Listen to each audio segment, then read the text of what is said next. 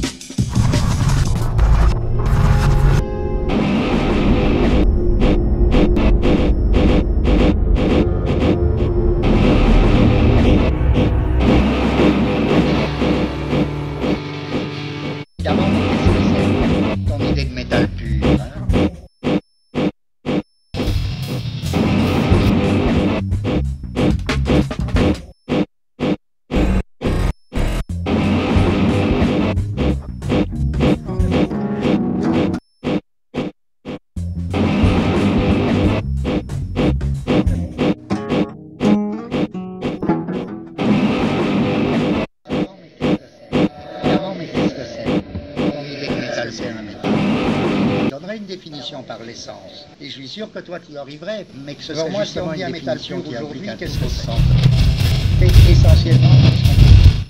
mais qu'est-ce que c'est On de métal pur.